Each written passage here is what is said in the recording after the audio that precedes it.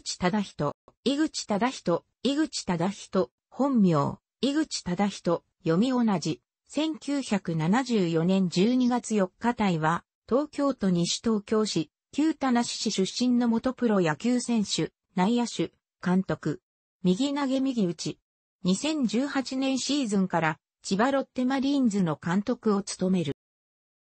1974年12月4日、東京都西東京市、旧田無市で生まれる。童話作家の寺村照夫の次男が、友達や近所の大人を集めて、少年野球チームのビクトリーを作ったが、これに寺村の長男も参加し、寺村が監督になる。その後、ビクトリーに入ってきたのが、当時小学校4年生の井口であり、寺村は、井口くんは、俺が育てた。という、参照、寺村照夫。保守としてこの時から野球を始め、中学校まで保守を務める。小学校の5年の時に、少年野球チームの、ホーヤリトルクラブに移籍する。小学校と中学校では最高学年で首相を務める。中学校の3年の時には全国大会に出場。井口は守備の際に使用するレガースとプロテクターをつけるのが好きで、両親に買ってもらって喜んでいた一幕もありました。というように当時の思い出を話していた。国学院久我山高等学校で内野手になり、遊撃手としてプレーするようになる。2年の夏に3番、遊撃手として全国大会に出場。2年の秋から3年の夏までは主将を務め、3番、遊撃手としてプレーするが、春と夏の全国大会の出場を逃した。その後、青山学院大学へ進学。高等学校時代に引き続いて、遊撃手としてプレーする。4年の春から4年の秋まで首相を務める。4年の時には、アメリカ合衆国で開催されたアトランタオリンピックで玉日本代表に選ばれ、銀メダル獲得に貢献。この時にキューバ代表のプレーに衝撃を受けたことが、後のメジャー調整を意識するきっかけになった。また、同期のチームメイトである沢崎俊和、清水翔海、倉谷信次などと一緒に全日本大学野球選手権大会の優勝をはじめ、多くの輝かしい実績を残した。個人としても、一番、遊撃手の青い核弾頭として活躍し、東都大学リーグ史上唯一である三冠王や、リーグ記録となる1シーズン8本塁打などを記録。大学通算成績は101試合出場、366、打数、103安打、打率、281、24本塁打、61打点、32盗塁。東都大学通算24本塁打は、現在も破られていないリーグ記録である。また、最高主君選手2回、ベストナイン4回の受賞の経験がある。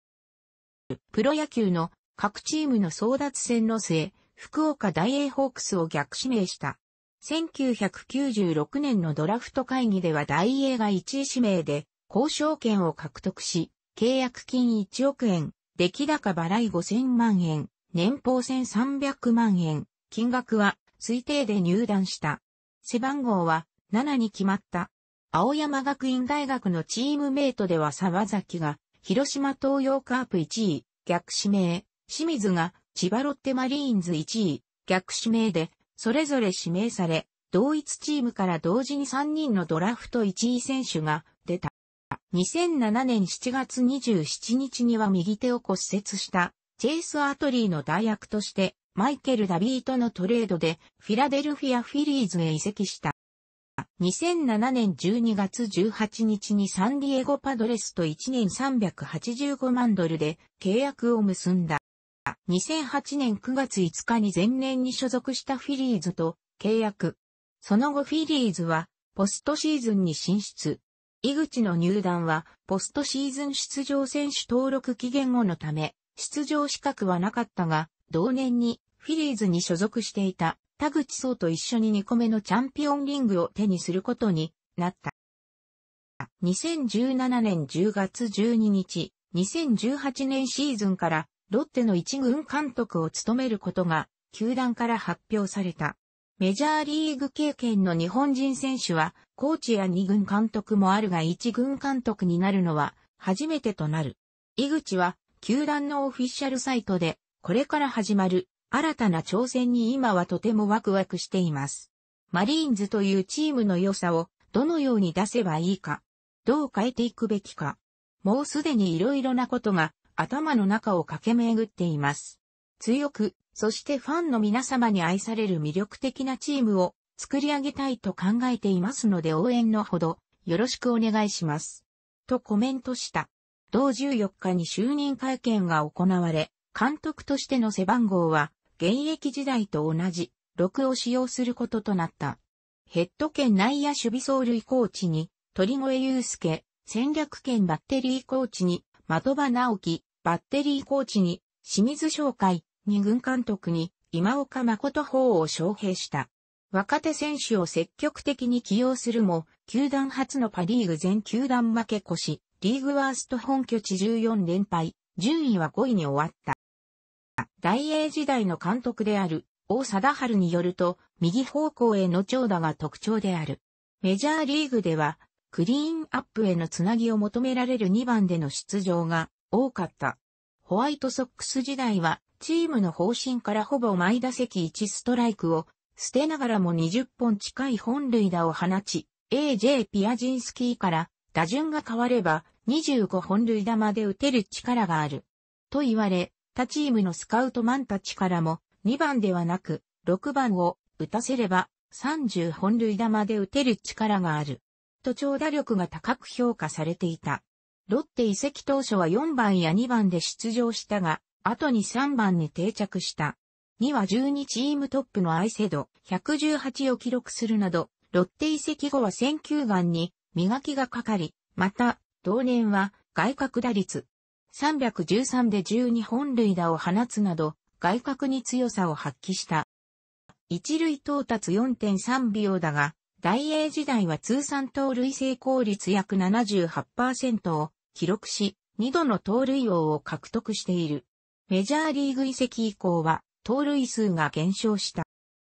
大英時代は2000年までは遊撃手を務めていたが、2000年秋のキャンプから二塁手のコンバートに取り組んだ。一塁への送球距離が短くなったことで、無理に前進せずにボールを引きつけて補給するケースが増え、打席でも前に突っ込まなくなったという。二塁手としてはサンドゴールデングラブ賞に輝いた。守備では深めの位置で守ることが多く、肩の強さは二塁手としてはメジャーでも強肩の部類に入ると評された。ジミー・ロリンズは、井口と初めてに勇敢を組んだ時について、あの日は練習時間を間違えて、球場を入りしてしまったんだ。練習や打ち合わせなしで本番に臨んだ。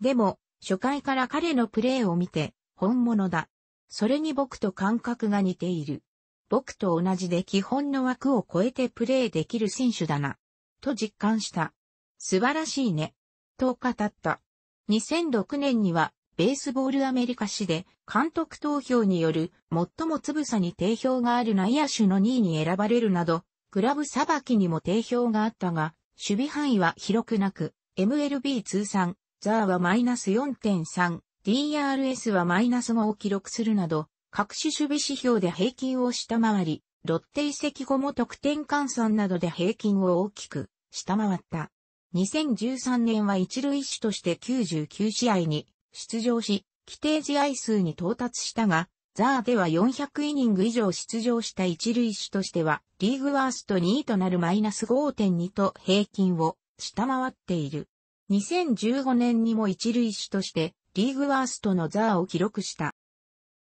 現役時代に使用していたバッティンググローブは、アシックス社製の熊取学校に描かれたバジカラシリーズ。西部時代の松坂大輔との対戦では通算で、打率365、85打数、31安打、3本塁打、9打点を残して得意としていたことから松坂キラーと呼ばれた。ホワイトソックス時代には本拠地の US セルラーフィールドで井口が打席に入る時や好プレーをした時になるとブーイングに似たグー、グーという鳴り声をホームの観客が発した。これは、グーイング、ギングと呼ばれる井口への応援である。現地では、井口、井口の具に、アクセントが置かれた特徴的な発音で呼ばれることが多く、これに由来する。